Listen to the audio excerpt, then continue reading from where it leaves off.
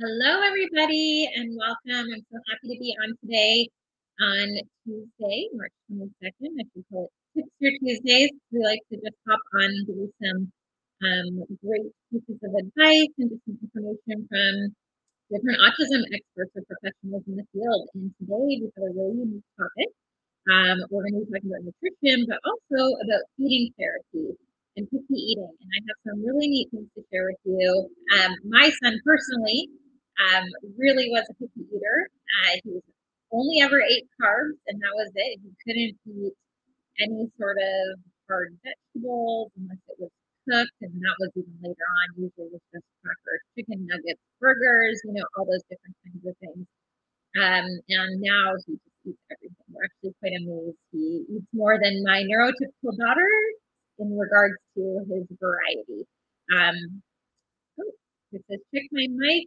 Hopefully you can hear me. It says that I'm unmuted. So let me just mute myself and unmute. There we go. Can you hear me now? Let me know in the comments if you guys can hear. Yes. Okay. So I'm not sure um, how much you heard, but I'll just briefly restate. So today we're going to be talking about nutrition as well as picky eating. Um, and I was just sharing how my autistic son, when he was younger, all he ate was carbs, chicken nuggets, bread, you know, burgers, things like that, fries, like anything fried, anything with carbs, that's what he ate. He could not actually eat um, any raw vegetables. He would choke. Um, I do have to tell you, as of, I think it was last week, um, it was either Monday or Tuesday, he officially ate his first raw carrot and did not um, gag or choke and completely swallowed it. And in fact, he thought it was really pleasant. He had it with Caesar dressing, um, and he's totally overcome that sensory issue. Now, carrots were a big deal for us because anytime he would eat a carrot, you know, he just couldn't take it um, sensory wise and and he would throw up. So he's progressed that way. So little steps all the time. He does have a wide variety in his diet, but just raw carrots we could never conquer. And as of last week, we did. So super happy about that.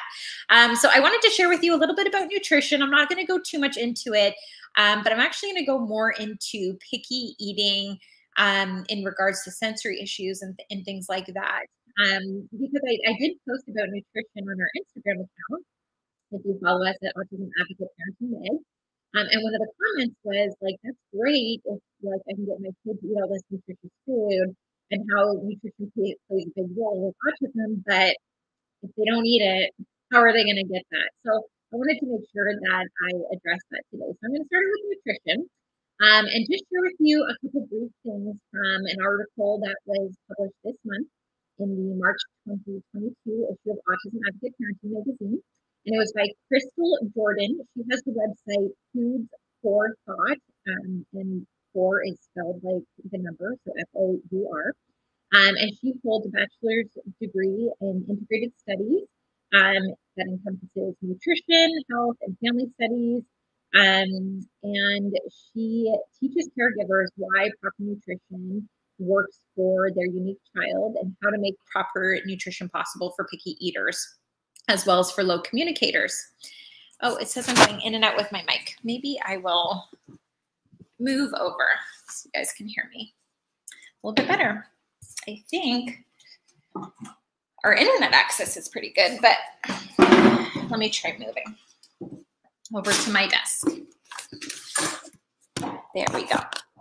Okay, so I want to share with you a little bit about what she shares on nutrition and foods that you should avoid. That's great. Sorry, we got this light. Um, so anything that enhances uh, inflammation throughout the body or aggravates a digestive dysfunction or aggravates a digestive dysfunction should be avoided. So keep in mind that digestive issues um, are up to 65% more common in autistic children than in their neurotypical peers. So some of the things that she suggests avoiding, one is soy. So any kind of soy products, they're commonly overprocessed to the point of being intolerable for the body.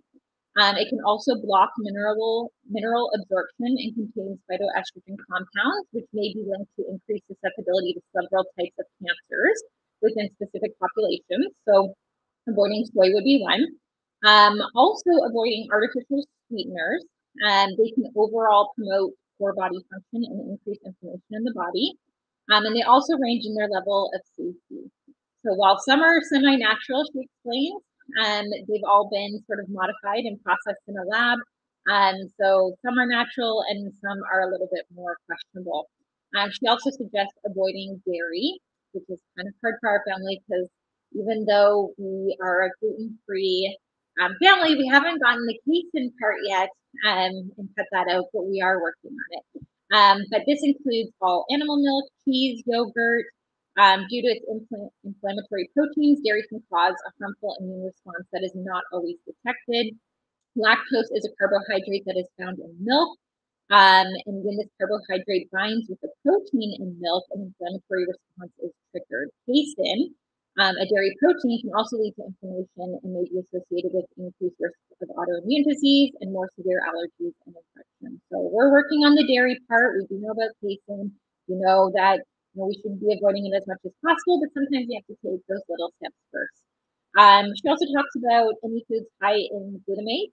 Um, so glutamate occurs naturally within the body and in many foods. However, an excess of this amino acid can contribute to many problems. In particular, it can affect the brain and result in headaches, anxiety, depression, and mood swings. So foods that are high in glutamate include monosodium glutamate, so MSG, many artificial sweeteners, and soy products. Um, and high levels can also be found in tomatoes, mushrooms, peas, Parmesan cheese, processed meat, yeast, and cow's milk. So those are just some of the foods talks a little bit about uh, some other areas of foods that we should avoid as well. Um, but I just wanted to highlight those. And you're probably thinking, okay, what the heck do I feed my child? And we're going to get into that. Um, other things that you might want to avoid are whole foods as well. And I'll go into the details of that, she explains why. Um, so, you know, what can we feed our kids? Obviously, vegetables and fruit and organic meats, natural fats such as coconut oil, olive oil, nuts and seeds are really good um, for the body and for our autistic children. But sometimes it can be really hard to feed our kids fruits and vegetables, or at least it was for my son, especially when he was little. Um, and even up to a week ago, where he could not ingest a raw carrot. Um, and so I'm going to talk to you a little bit about another article that we produced um, called Feeding Therapy for Children with Autism. And the article was written by Erica Furness, I'm trying to see if she has a website where you can go to, but she's a pediatric occupational therapist and the clinical coordinator for Galvin Therapy Center in Warrensville Heights, Ohio. Um, and she really works with clients 0 to 21 years of age, addressing self regulation, sensory processing, um, feeding, motor delays, um, ASD, as well as cognitive delays. She wrote this incredible article. And I really want to share like, my son went through feeding therapy when he was little. It worked wonders for us. Like like I said, he was a very restricted diet. Now he's like raw sushi and everything. It's crazy. But feeding therapy really, really served us. Now I'm not gonna say it's gonna you know help every child, but it is something that would be wise to look into if your child is very restricted in their diet or has um, you know sensory issues with being able to ingest certain foods. Um, and she gave us a great article just talking about some things that you can do with your child um, to help them to progress um, towards being able to consume more variety of foods, as well as to help lessen the sensory issues with consuming certain foods. Um, so some of the tips that she, she gives, and I'm going to get into you know what you do with the food in a little bit here, but she talks about regulating senses before meal times. Um, so even before your child gets to the table, um, you want to make sure that they're regulated enough in order to tolerate sitting for the meal. So movement or heavy work tasks prior to sitting can help calm the body and organize the brain for the task ahead. Um, so trying activities like animal walks, swinging, jumping, or you know, going on a trampoline, uh, carrying a heavy tote bag, um, pushing or pulling um, something heavy um, can really help to just you know, regulate the body prior to sitting down. Once sitting at the table, it's important um, it's important to be able to um, make sure your child has the appropriate posture. So when the child is seated, uh, the table really should be at chest height so that the child's elbows and arms can reach the table. Um, and they should have a place to rest their feet so that they're not dangling. Um, and if their feet can't reach the floor, you kind of want to put a step stool underneath there or a cardboard box or a pile of books or, or something on the floor to see them properly. So we want to address like all these different areas, help their mealtime um, be as best as possible, and then we're going to address the food part.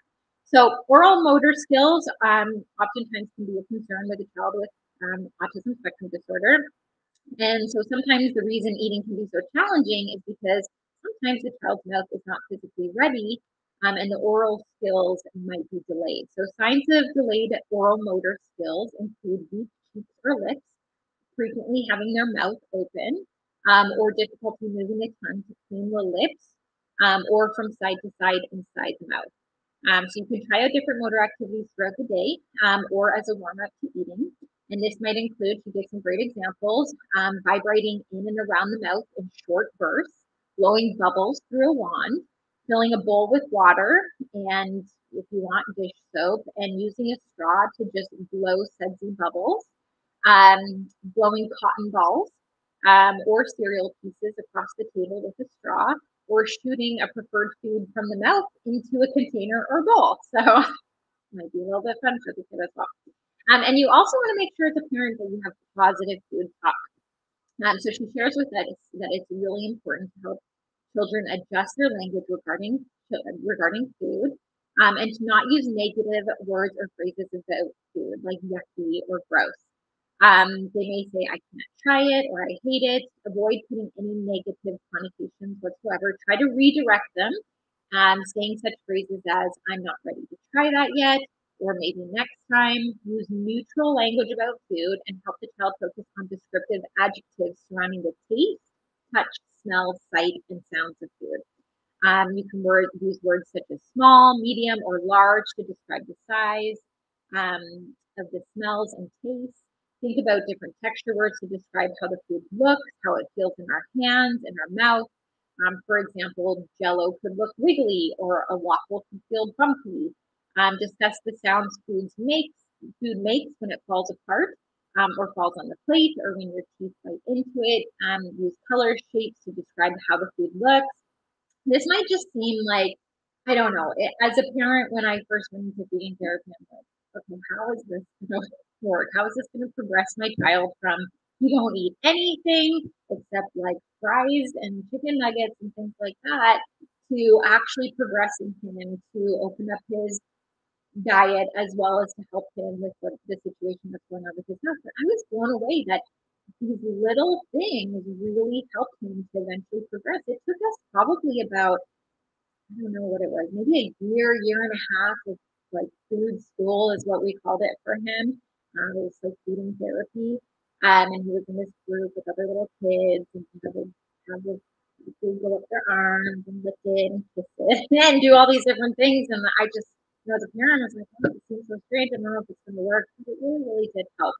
Um, so she talks about in her article, Erica talks about climbing the food staircase, you know, tolerating the food, being in the room with the food present.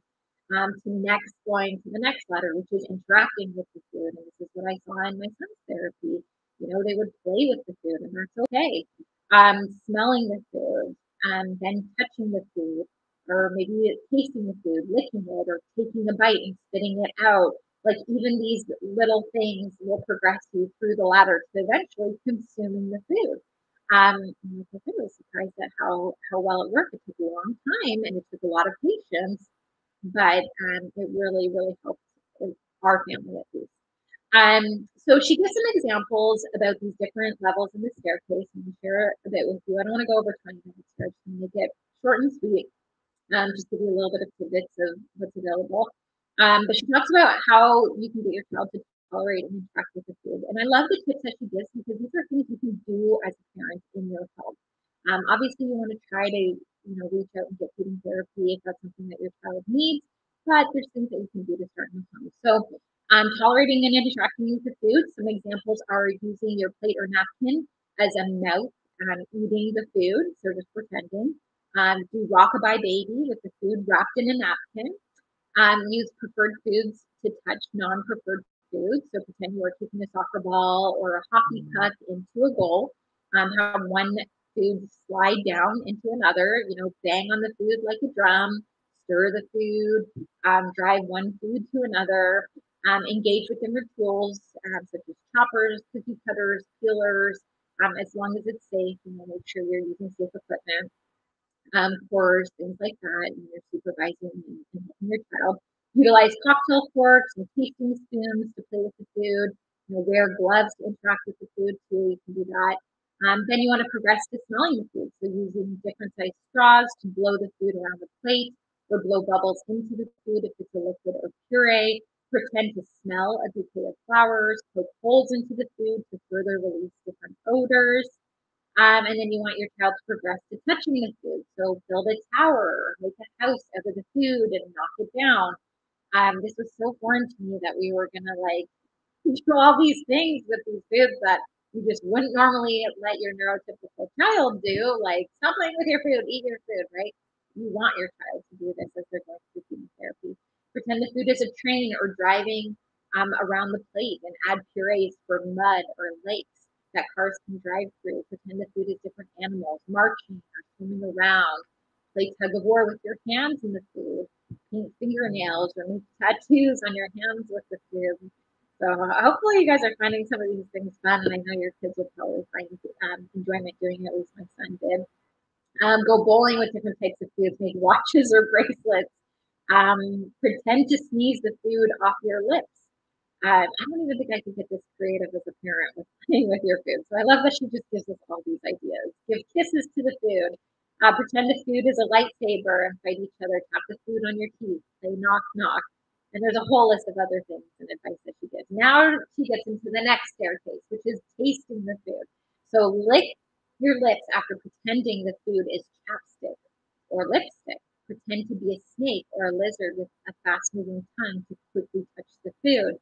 Lick the food as if it were a lollipop. Play hide and seek games with the food in your mouth. Try to guess where the food is hiding. Um, pretend to be a puppy or a kitten and lick the food off your plate. Draw pictures or road maps on your tongue with the food. Pretend the food is a passenger on the train. Um, the tongue is the train, and then bring it to all the stations front and side, teeth or cheeks. Um, chew the food like a different zoo jungle animal. Pretend the food is a rocket leaving for outer space in your mouth and shoot it to a target. Um, so those are just some fun tips. I can tell you, like, not all of these, but a lot of these they did do in my son's feeding therapy. And, um, you know, they just did it little by little. Each, each week, it was a couple times a week. Um, and they would do, I just add a little bit more, and it really progressed them through. Um, and so I am definitely a fan of feeding therapy. Um, it's done wonders for us. So I just wanted to share some tips for you as parents. If your child struggles to have a wide variety of foods or sensory issues chewing or swallowing, um, you'll definitely want to seek out um, support that can help you. An occupational therapist um, can likely help with that in helping to develop those oral motor skills. Um, I want to mention in Autism Advocate Parenting Magazine, in our premium subscription, we have a nutrition and feeding um, section. Um, so we have different category sections. You can find all the articles on nutrition as well as feeding therapy. Um, and there's milestones in there, what your child should be able to do with their mouth at certain ages, um, and lots of information from top experts in the field, um, as well as autism professionals to help you as parents. So you can subscribe if you're interested in getting more information to help your child. There's lots of other um, areas of the magazine as well. We cover pretty much any topic possible in the field of autism. Um, and if we don't cover it, you just write into the magazine and we find an expert to cover it. And so we have a monthly, an annual, or a premium subscription. So definitely, if you're interested in subscribing, subscribe through Autism and Us. Autism and Us is an amazing charity and 25% of the proceeds go back to Autism and Us to further their charitable um, things that they do with their organization. So um, to do that, you can go to, it's right there on the screen, autismadvocateparentingmagazine.com forward, forward slash, not backslash, forward slash autism and us. And if you use the code autism and us, all capitals, all one word, um, you actually get a great discount on an annual or premium subscription, and you get a ton of extra freebies when you enter into your account. Um, lots of bonus materials to help you out as a parent raising a child on the spectrum. So I hope that helped you. We love to hop on every other Tuesday and just give tips and tricks for those raising a child with autism to help you um, with either their behavior, anything they're struggling with, um, sensory issues, feeding, whatever it might be. So um, if there's any topic you want us to cover in the future, be sure to comment below and we'll make sure we put it on the list. All right. Thanks everybody for tuning in and I hope you have a great day.